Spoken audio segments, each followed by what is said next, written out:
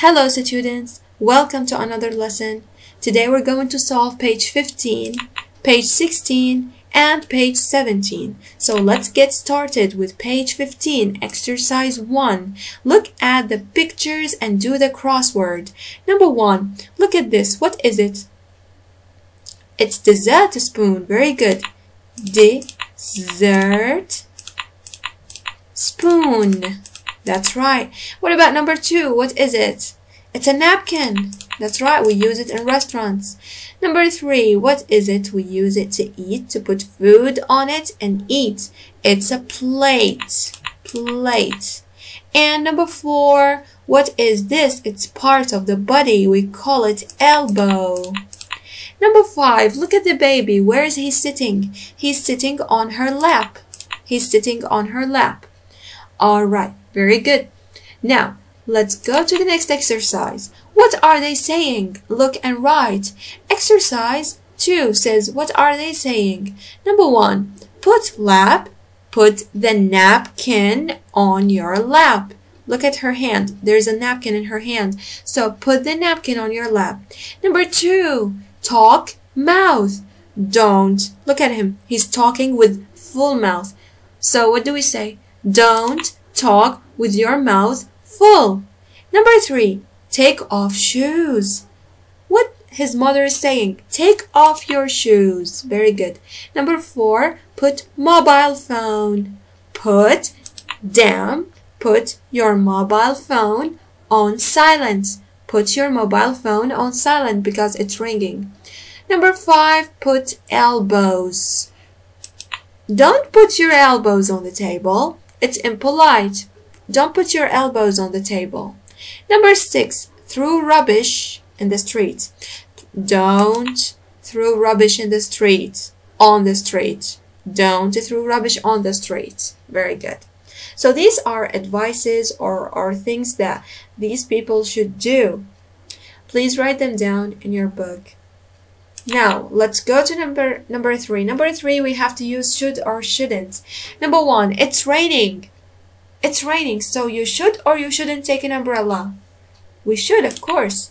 Number two, David hurt his leg, so he should or shouldn't play basketball. Shouldn't, of course, because he hurt his leg. Now, Irma isn't doing well at school. She should study harder. Now we have conversation between A and B. I've got a really bad headache. You shouldn't listen to loud music then. Number five, people cut down trees. It's bad for the environment. So should or shouldn't? Shouldn't, of course. Number six, you visit the Statue of Liberty when you go to New York City. It's fantastic. So, should. Yes, of course. Should. Please write it down in your book. Now, exercise 1 says refer to the text about the Sapporo Snow Festival and write T for true and F for false. So, um, how about we make a revision about the text? Let's go to the student book and listen to the text one more time so we can solve the exercise. Here we go. Activity 1. What do you think a snow festival is? Listen, read, and find out. The Sapporo Snow Festival. What is the Sapporo Snow Festival? It is a famous festival held every year in Sapporo, Japan. It's in February and lasts for seven days. Every year, two million people go to see the snow and ice sculptures. They have fun in the snow. But how did this festival begin? Well, in 1950, six high school boys made six snow statues in Odori Park, Sapporo. Everyone loved the idea, and that's how it started. Snow problems? Some years there isn't enough snow. So lorries bring in snow from outside Sapporo. The sculptures are usually buildings, animals, or even people. In 2004, there was a statue of Hideki Matsui, the famous baseball player. Okay. What can visitors see there? Visitors to the festival can enjoy concerts by bands on ice stages, ice slides, and a huge maze made of snow. You can also enjoy a variety of local food. The sculptures are the most important sight. You can get a good view of all the sculptures from the TV tower at Odori Park. At night, they light them up to create a magical winter world. Alright. So, let's go back to our let's go back to our exercise, which is exercise one. Um, number one, the Sapporo Snow Festival takes place every seven years. Every seven years? No, of course not. False. Number two, there are sculptures of people, buildings, and animals at the festival. Yeah, true. That's right. Number three, when there isn't enough snow, the festival doesn't take place. Is that true? No, of course not. It's not true. Visitors can see the sculptures, go to the concerts, and eat at the festival. That's right, they can. True. Alright, now let's go to the next exercise. Complete the sentences with the words in the box. We have maze, slide, statue, tower, light up, sculptures. Number one, I think we're lost. There is no way out of this maze. Number two, my little sister was too scared to go down the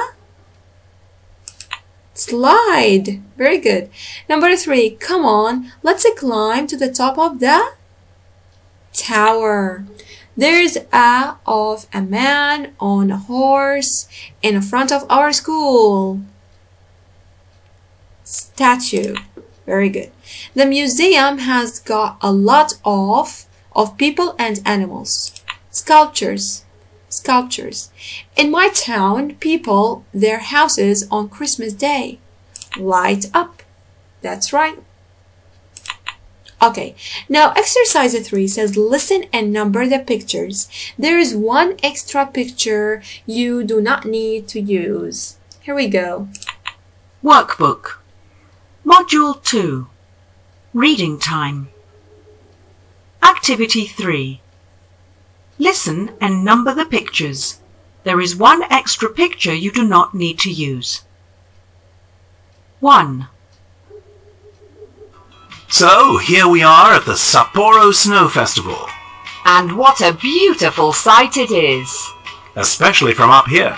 Yes, from the top of this tower, we can see all the sculptures. Aren't they beautiful? We can also see the slides and the maze. And all the people, of course. And there are a lot of them. 2.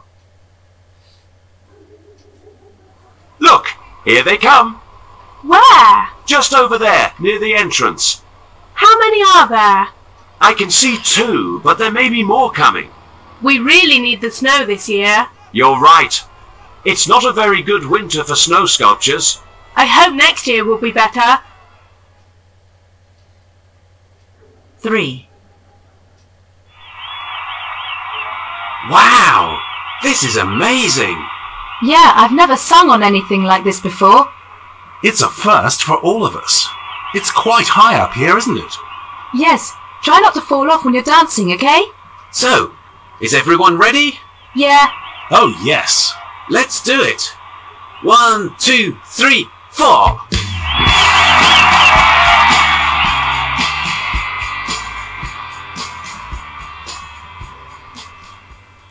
Alright, so so number one, what do you think? Which picture is number one? They were high. Yes, at the top of the tower. So D is number one. Number two, they were talking about ice and the winter wasn't very good. So that's right, number two. Number three, number three, you heard the music, right? So C. Very good. Thank you so much. Write it down in your book. Alright, when it comes to the project, we have to write about a traditional dish in our country. So it is totally up to you to write about whatever you want. I'm going to write about my favorite dish and I'm waiting for your opinions and your own ideas, your own favorite dishes. Okay? So today I'm going to talk about biryani. So let's answer the questions. Number one, what dish do you want to, to, to write about? I'm going to write about biryani, which is a slow cooked rice with meat. Number two, where does it come from? It comes from Iraq. Number three, what ingredients do you need? I need rice, oil, onion, chili powder, and salt and meat to make it. Which adjectives best describe this dish? Very tasty. Where can you find this dish? In Iraq, and it's also popular in many Mid Eastern Islamic countries. Now, exercise 2 says write about a traditional dish of your country. Use the information from activity 1. Here we have to write the title. The title is Biryani, slow cooked rice with meat. This is the Iraqi version of the popular biryani, slow cooked rice with meat. This picture which is also popular in many Mid Eastern Islamic countries and other places around the world with Muslim population. This very old lunch dinner main course dish is cooked in an exclusive Iraqi style and is a common menu for occasions like Eid or local wedding parties. The use of many essence, spices, and flavors along with sainted rice and meat gives it tasty flavor. So I wrote about my favorite traditional dish and I'm waiting for you to write about your own favorite dish. Okay?